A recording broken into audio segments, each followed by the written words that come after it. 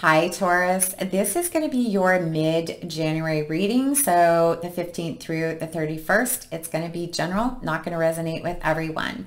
If you have not checked out the 2022 forecast that I uploaded for you, I strongly suggest that you do. Very, very positive messages. They are all in playlists on my channel, so they're very easy to find. I did a general love specific and then career and money. The career and money is only three months. It's from January through March, but the other two are for the full year. Again, they're in playlists on my channel if you want to check those out.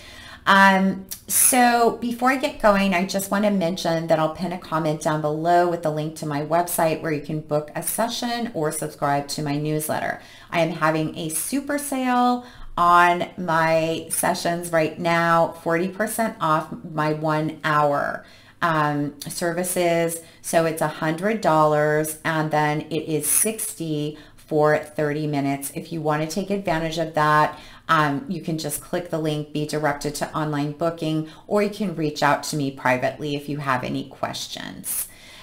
And I'm also going to include links to my social media accounts on Instagram and Facebook if you want to connect with me there. So we're starting off the reading with a new moon eclipse energy, and this says to expect powerful change. I love seeing this come through because this is just a continuation of the energy that has been coming through for you for months now. The first half of 2021, the energy was really heavy. You guys were really going through it. But by the second half of 2021, the energy started shifting and the messages became much more positive. So this is really encouraging that this energy is continuing. And you guys, if you're saying, well, Nancy, I haven't seen any changes, nothing's happening. Um, I want to assure you that if you're taking consistent action, you will see change. I've had two private appointments with Taurean clients in the last week or two, and both of them are seeing progress. Okay, they're seeing the way forward. Um, they uh, there is movement. So I assure you, it's not all fluff, but you have to be a co-creator of your destiny, you guys. All right. The next card that's coming through is from the Black Moon Astrology deck. It is North Node, and this is about life's purpose.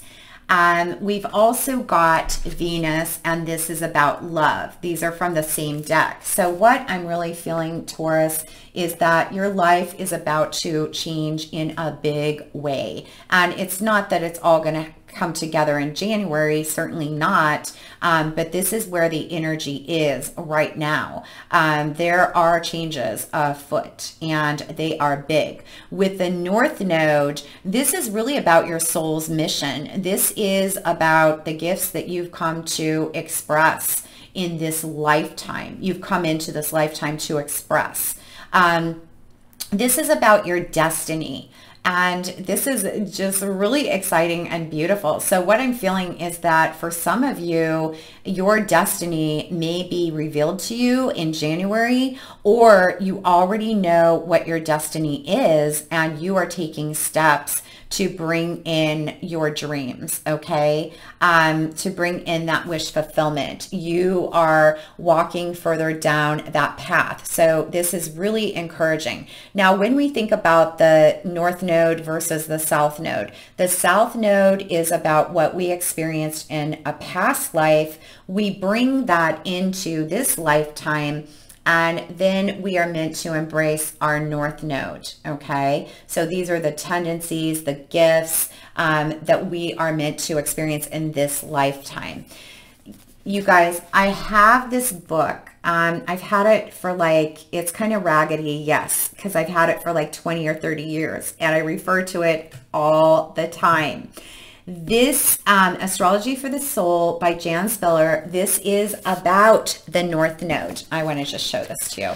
Um, this is about the North Node and you there's an index so you can find your north node. It's based on the year that you were born. Um, so this will go into i mean it is pages and pages and pages of detailed information about tendencies to embrace in this lifetime tendencies to leave behind I'm going to put a link down below. Um, if you want to order that book, um, you can, you'll be directed to my Amazon storefront and you can purchase it online if, if you guys are interested. I highly recommend it. It's one of my all-time favorite books. Um, just so full of helpful information. So really love it. Uh, yeah, so Taurus, your North Node, um, your soul's mission is either going to be revealed or you're going to be embracing it more fully. And then with Venus and love coming through, um, this is about your love life. And so I do feel that for some of you, you it's almost like you're going to have your cake and eat it too. How does that sound? Um, of course, it's not all going to happen in January, you guys. Uh, but the the life's purpose card corresponds to the Ten of Cups. The love card corresponds to the Empress. That is some good energy right there. With the Empress, that is, you know, that's about fertility. It's about new beginnings. It's about creation. So I do feel that for some of you, love, you could find new love if that's what you are wanting. Um, and you could also, if you are in a love situation already, you could recommit to to each other. Um, I do see some sort of um, karmic fated situation going on. So some of you may be leaving a relationship. Um, you may be even leaving a career to follow your destiny. Um, but there's going to be big shifts for you coming up. So this is all very, very exciting. Um, the first card that is coming through in the main spread is the Two of Roses. This is from the Akashic Tarot. The roses loosely correspond to the Two of Cups, but the message with this card is that um, there's some sort of conflict. It's not a major conflict, but it is a conflict. And so there's a little bit of drama. It could have to do with love. It just, it could have to do with business. Um, but there is a conflict that is brewing and it needs to be addressed. So let's see what this is about.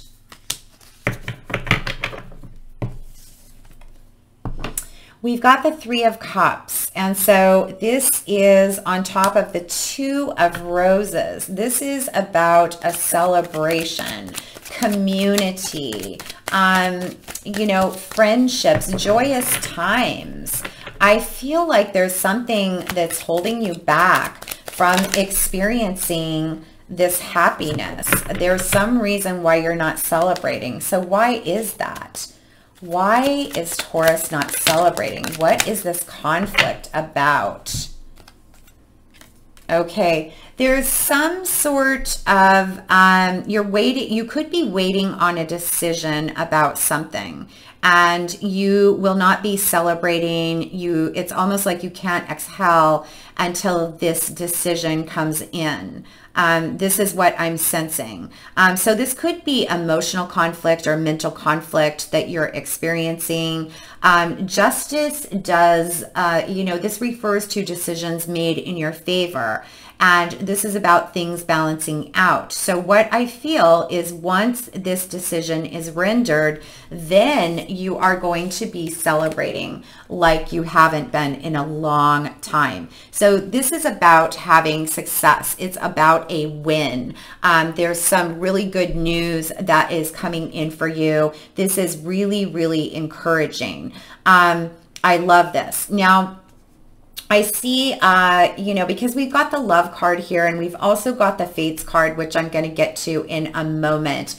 I do feel like some of you could be dealing with a karmic partner. Um, you could be married to a karmic partner. You could be just involved in a long-term relationship. Um, one of your parents or business partners could also be a karmic partner, something like that. And I do feel like there's something resolving around this situation. okay? So if you are in the middle of a divorce, I feel like the settlement that you're going to get is going to be fair. It's going to make you really happy. And then we've got the Seven of Cups. Um, so it's almost like you're waiting for, like I said, it's like you're waiting to exhale. You, you've been holding your breath and it's you're thinking about all the possibilities that are going to be available to you once this final decision is made. Um, and this girl, I don't know if you can, oh, the glare is so bad, you guys. This little girl, she's got her feet off the ground. She's holding on to this um, kite string and she her feet are off the ground. Um, so she's just kind of floating around thinking about possibilities. It's a very dreamy energy. So if you get into a place where you're daydreaming just you know enjoy it. Um, i do feel like you are going to have some things to celebrate. Now with the fifth chakra coming through archangel gabriel this is about truth and communication. This is about self-expression. And what I'm sensing here is there is some sort of truth that uh, is waiting to be revealed. And I feel like this is mostly about you speaking your truth, finding your voice and really, really speaking your truth. Let's see what this is about.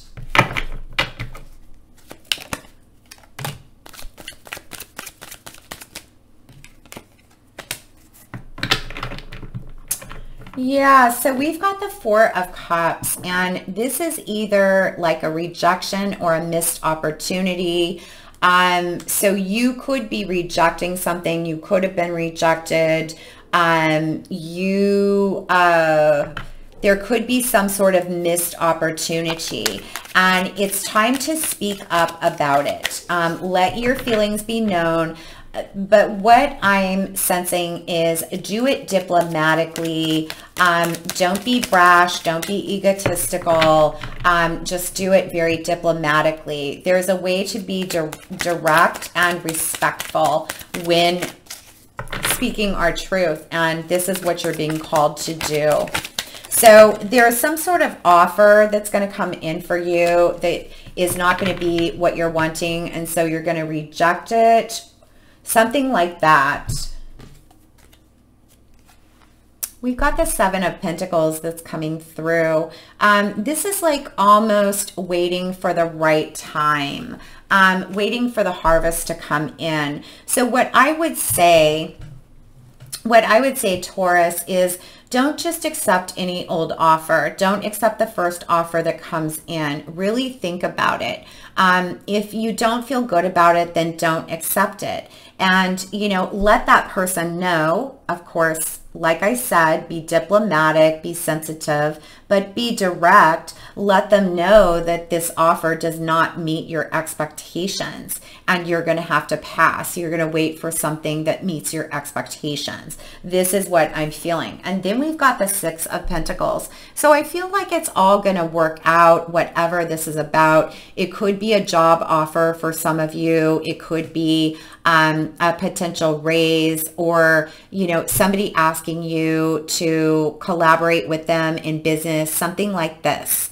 Um, with the Six of Pentacles coming through, this is about reciprocity and it's also about balance and fairness. So I, I feel like if you wait it out, you are definitely going to be getting what you want and what you deserve. Most importantly, what you deserve. But you are going to have to speak up for yourself. You are going to have to share your truth. And I'm, I'm just sensing that that is something that you are very uncomfortable doing. Um, at least up until now, you've been very uncomfortable doing that. And it simply comes down to self-worth, issues of self-worth. Now, the next card that we've got is the Fates. So there's some sort of karmic situation that you're in. We did see this Justice card come through, and that does represent karma as well um, a karmic situation, a karmic cycle.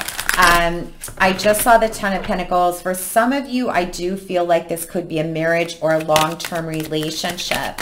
And I'm, I'm sensing that you're going to be getting yourself out of this situation. And that could be what the communication card is about for some of you. It's about really making your position known. It's like there's there's no reciprocity in this connection, in this relationship. And so I'm, you know, I'm moving on. Could be something like that. We've got the Princess of Swords, the Page of Swords. Um, this is an observer energy. And so I feel like whatever this karmic situation is, you are not ready to take action. No, you're definitely not ready to take action because we've got the Eight of Swords. And so you're really kind of stuck in your head about it. You're thinking about it, um, maybe losing sleep over it, but you are not ready to take action. We've got the Six of Cups and this is, a, you know, it's really interesting. We're getting the six, the seven, and the three of cups, and the four of cups. But with the with the six of cups, this is a longing. It's a nostalgic energy. And so there's something that you're not ready to let go of, some sort of karmic situation. It could simply be a dream that you had.